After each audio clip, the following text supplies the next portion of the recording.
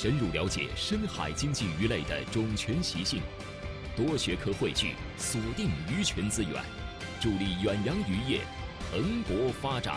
敬请收看《走进科学·大海捕鱼记》。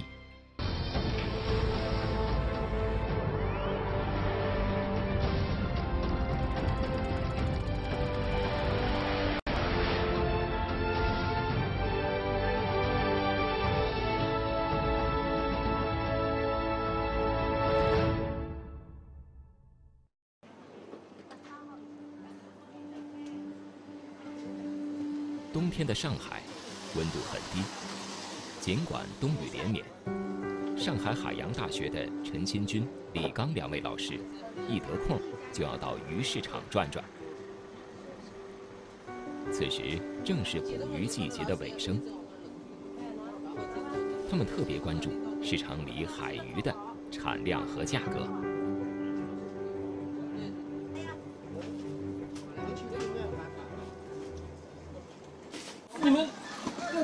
还是从外面进进来的？基本上我们这里自己自己弄的，自己抓的。眼前的鱼是他们研究多年的一种鱼。这个是台鱼，金是都有花纹的，青色的花纹很明显，肚子是白白的，银白色的肚子，像个肉棍儿一样，是吧？对，流线型。嗯，当地老乡叫这个叫什么鱼？这个啊，青砖鱼。青砖鱼。这个是远洋的，是吗？这近，这是我们近海捕捞的。眼前还有一种鱼，老师们能直接分出是近海还是远洋捕捞的。它这个都是属于我们抓的那个鱿鱼啊，这属于头鳃类里面，但是种不一样。这个这个是叫叫叫叫，这个我们叫乌贼，学名叫枪乌贼。呃，这个是近海，这是我们近海的小鱿鱼。小鱿鱼。小鱿鱼，比方叫笔管啊，就是这个。哦。这个这个也比较贵。哦。这个我们的大洋里抓的那个就是这个鱼。就你们一眼都看得出来是吧？啊，这个那个它不一样的，你看这个，这个，这个后面这个特别长，哦，超过它一半的，就是这个是纵向的，嗯，尾巴是纵向的，哦，对，你看这个那那个尾巴是横横向，横向的，哦，这个细长，对，哦，这尾巴尾巴长得就不一样，对，尾巴就不一样，个体小，这个肉也嫩，肉也很薄，这个贵，这个还更贵一点，这个这个反而便宜便宜点，这是远洋来的，这个对对对对，这个种类多嘛，嗯，这个资源量也大，这个外面有个。这外面有个有个眼睑，有个眼皮。是的。这个我们叫闭眼牙目的，你看那个就，这个有眼皮很明显，眼睛不是直接蒙的。这个这个这个尾巴，你看它就 它就横的，然后眼睛它打开。眼睛眼睛眼睛这个是透明。这是横向横向。对对对对。你看眼睛直接裸露的，没有眼皮。这个，嗯，这就是大洋的种类。对对，大洋的个体。两位老师不仅自己关注这些海鱼的情况，而且还带领团队做相关科学研究。这些年，他们一直在跟踪探寻大海里的渔业资源。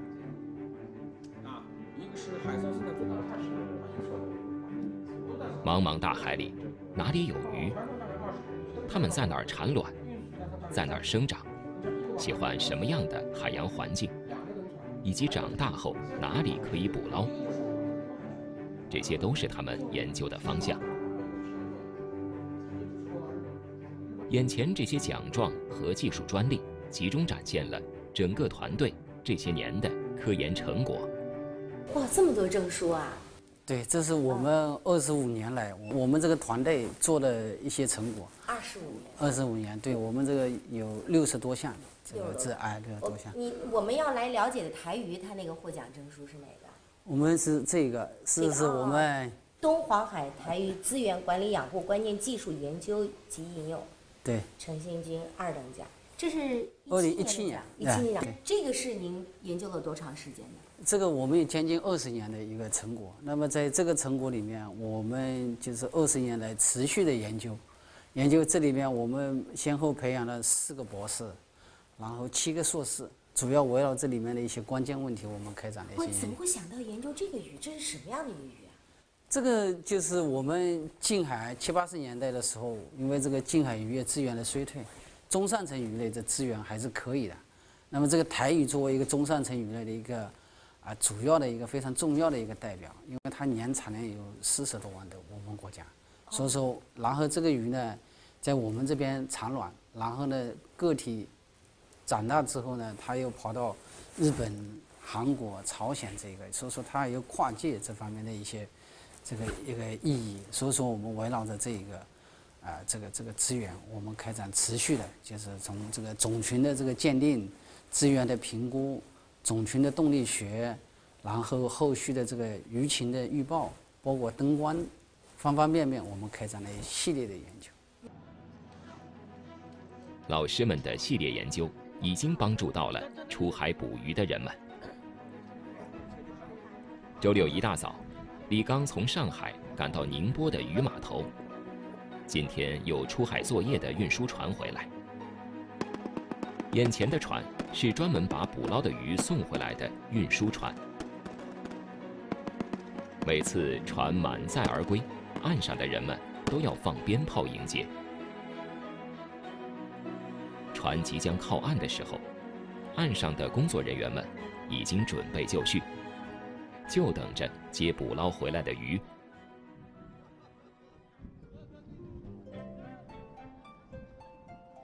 这个船队专门捕捞台鱼。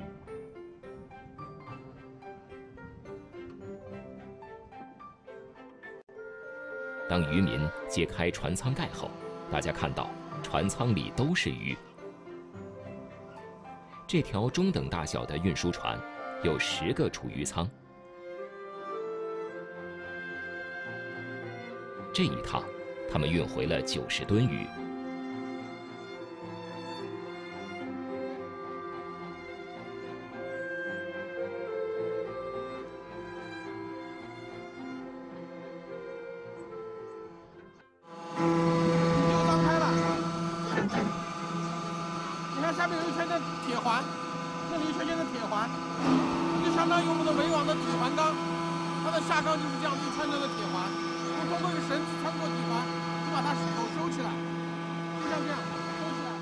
这些年，李刚一直在研究台鱼。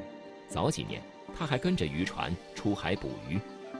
对于船上的工作，他很熟悉。保持鱼的新鲜程度一直是大家关注的重点。这个鱼尽管是冻的、死的，但是你看，它还是还是软的，就是有弹性的。对对对。这也是你们的技术上的要求吗？我们这个是属于冷海水保鲜船。倒到鱼塘里的时候，这个鱼是活的。哦。遇到这个进入鱼塘之后，温度骤降就立刻就死掉了。哦。之后它这个船里面，这个鱼舱里面有这个冰，冰的话会吸收这个鱼的热量，那使得温度的话马上就能降下来。但是又不会把它冻僵。对对对。因为你冻僵之后，这个鱼的质量就变了。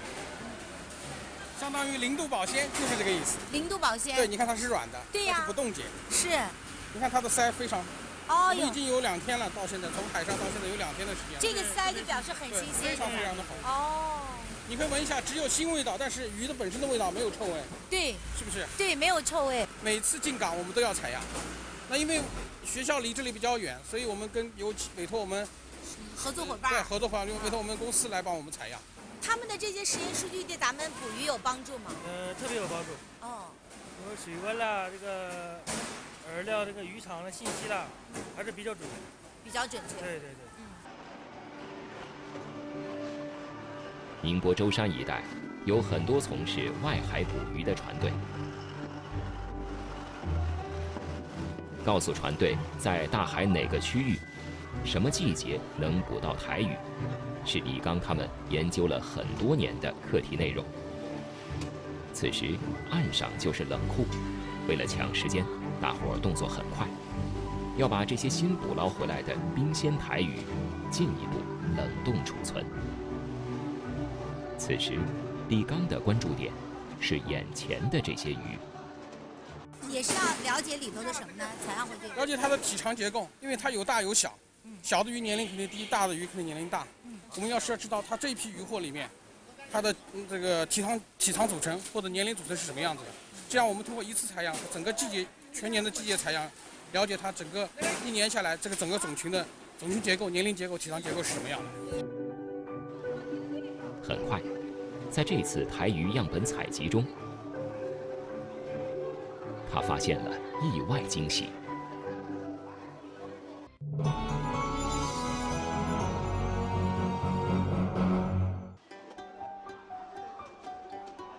在现场采集这次渔船捕鱼标本的时候，发现了两种台鱼。通常，这个海域发现一种台鱼的概率高。可眼前这些鱼，在大伙儿看来都长得差不多。于是李刚老师就近找个地方，先教教我们怎么区别不同的台鱼。这个是白肚。对，这个是白肚。对吧？对。这个也是白肚啊。你再仔细看看。这个这看着也是白肚子，但是有一些光泽在上面，好像。这样看，它肚子上有斑点，有花纹，看到没有？花纹，对的。你看这条，全是白的。没有，对对。全是白的。是的。这我们叫日本台。日本台，就白，你们俗称的白肚子。白肚子。白肚子。在我们中国近海，像澳洲台分布的更更南一点，它喜欢暖水。哦。像这个，它喜欢冷水，更偏北一点。嗯。那现在有可能发现它们混迹在一起，更我们在北方也能捕到它。有可能是因为我们现在全球气候变暖，水温升高，它可能会向北，对，向北移扩展它的范围。台鱼分为澳洲台和日本台两种，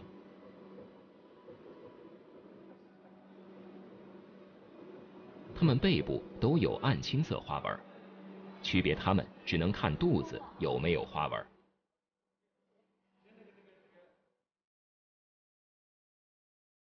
每年捕鱼季节，也是上海海洋大学科考船的实验室里最忙碌的季节。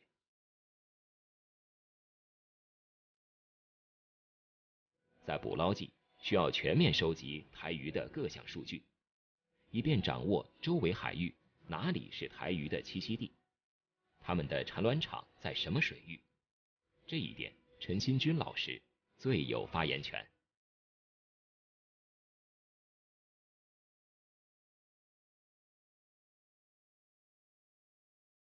我们从九八年开始，我们就开始就说做这个台语的这些工作，要从它的这个种类的种群的这个判别，要从它这个渔产资源的预报，从它的这个资源的这个评估，以及到它的这个海洋生态系统动力学等等这方面，我们开的一系列的研究工作。近海的主要的这个种类中上层的鱼类，以前我们一些群众鱼，它会大量的这个捕捞，以前现在因为有禁渔区的会好一些。那么大量的幼体都给它前期都捕掉，捕掉之后做鱼粉，所以说没有长成这么大个就给捕捞掉了，啊，都捕捞掉。所以说，呃，但是整体上来说，应该资源状况还是可以的。现在每年那个产量大概四十万吨。测量记录台鱼标本的一些数据，鱼的鳍条数、鱼眼直径大小、体长，这些只能获得鱼的基本信息。要想进一步获得鱼个体生长历史的信息，还得另想办法。由于台鱼没有太大的鳞片，研究团队发现，通常研究鳞片获取鱼各类信息的途径行不通了。陈新军带领科研团队另辟蹊径。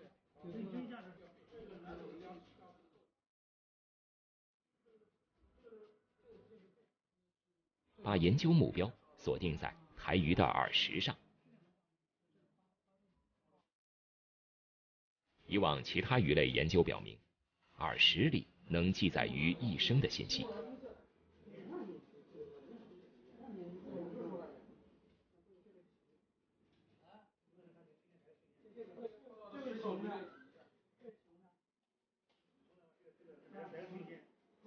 可实际操作中，大伙儿发现。黄鱼耳石比较大，很好取出来。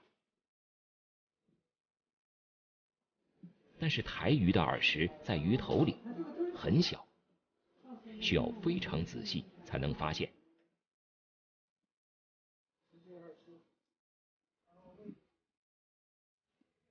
想要完整取出，就更难了。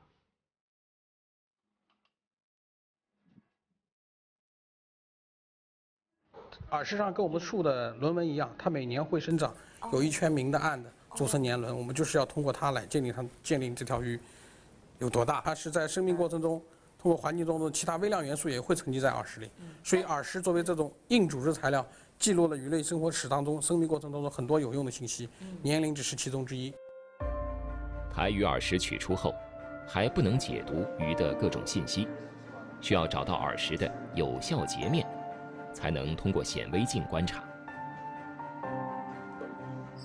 这么小的台鱼耳石，怎么获取截面？在显微实验室里，刘碧林老师正在利用胶水固定耳石。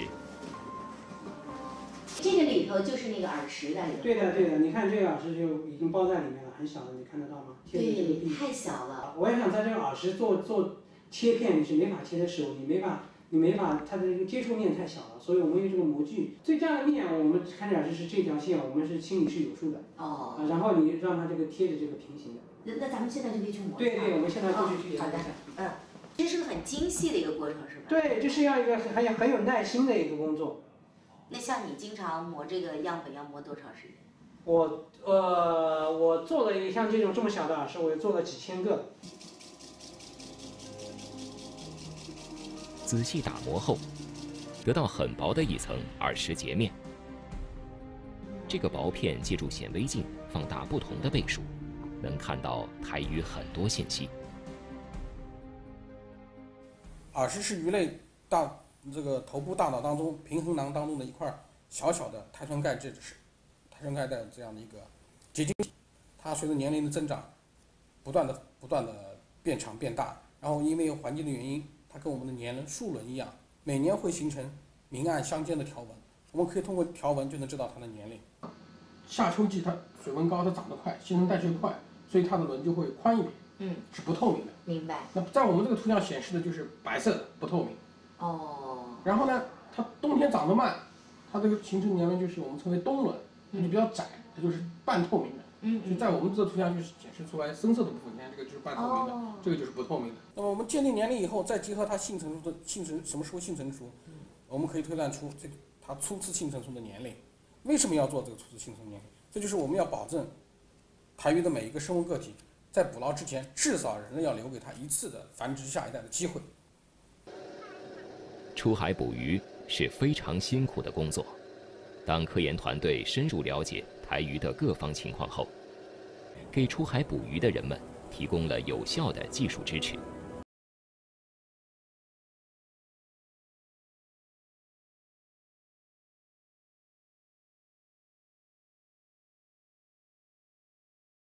进一步掌握了，并指导出海捕鱼的船只科学捕捞。为可持续渔业找到可靠依据，一旦发现哪个批次鱼太小，老师们就会建议捕鱼时用大网眼渔网捕捞。针对台鱼是生活在水下中上层的鱼类，还喜欢集群活动，于是，在捕捞方式上，老师们也给出了很好的建议。我们这个近海的这个灯光围网的这个台鱼的话，长度这个一千两百米，高度大概有三百米左右，嗯，然后这个鱼群结好之后，然后用这个，呃，这个网啊去把它围起来，围起来，然后那边收脚上去。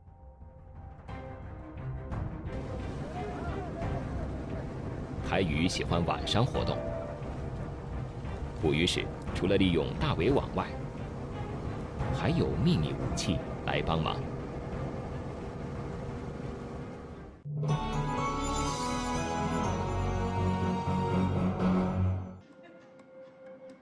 在实验室里，大家关注到了台鱼洗光的特性，并用上了秘密武器——灯泡。这也是捕鱼用的。捕鱼用的。现在捕鱼咱们就是不用下饵料了。呃，这种方式它属于光诱渔业。光诱。对，不是钓。是那个诱诱。诱集的诱，使用灯光来利用鱼的趋光性，来晚晚上生产诱极鱼类。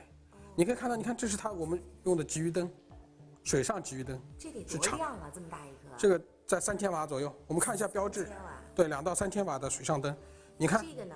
这个一千瓦。一千瓦。三四十厘米放一个。哦。这样一串一串一串一串。晚上全打亮。全打开。这大概几点钟能去捕鱼呢？呃，光有鱼是太阳下山开始上班。哦，白天不上班。天亮了就是结束生产。哦，那这个是晚上。家伙是怎么回事啊？这个是水下灯，你可以看到它跟我们前面的白圆柱状的灯是一样的，就是不同的是外面多了一个大大的外壳。这个外面加了个壳。加了个壳，因为对要放到水下，它要满足防水、防压，而且要高的透光率，所以做成透明的球状。那鱼就都会朝着它这边来了。对，它通过水下水下光发射出去，鱼受到光的吸引，就会集中在我的船的周围，想办法节能。想办法节能，怎么对？那我们就采用现在高科技的 LED 灯。哦。LED 是新一代的光源，它的特性是发光率高，嗯，耗能低，而且寿命长。哎呦，这么沉啊！对，做的这么沉。天哪！这几十几好几十斤呢。对呀，这个很沉呢。这是水下灯，这也是水下往水对，往水下灯。你看，我们外面做了一圈，是实际上是它的保护罩。哦。因为放到水下以后，要通过船舷的。对的。会碰撞。磕着它。对，所以我们做了个保护罩，然后外面还有一个防水的壳。是。就是透光的。最里面才是我们的 LED 灯。那这个灯应该也非常亮。非常亮，非常亮。模块的上面。对，同样的亮度，但是它的功率低的低很多。就不会烫。也不会烫。嗯。它用 LED 灯不发热的。是的。而且我们还可以用它调色。因为不同的鱼、不同的水深、不同的环境，盐度不一样，它对颜色的要求是有有区别的。灯光在晚间作业时带来了极大的便利，鱼群会被渔船周围的灯光吸引，而聚集起来。在捕捞现场，灯光船、捕鱼船、运输船，在海上组成生产作业团队。用灯光诱鱼，捕捞船下大围网，捕到鱼后立即传到运输船储存，随后运回岸上。这些捕鱼的工作一般都在远离海岸的地方完成。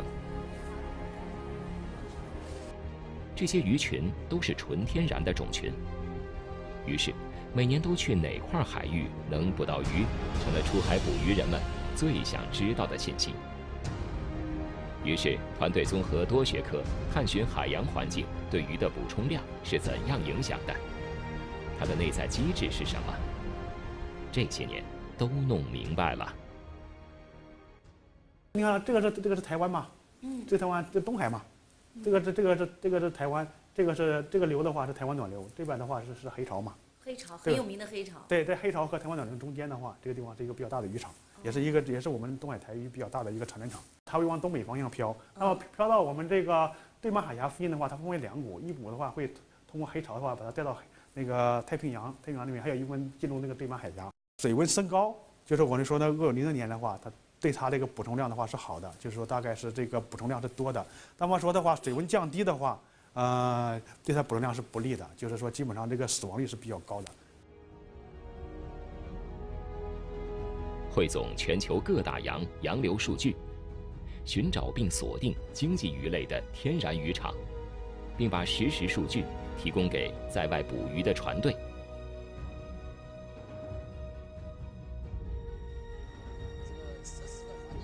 陈新军老师带领科研团队，利用遥感监测，开拓中长期预报。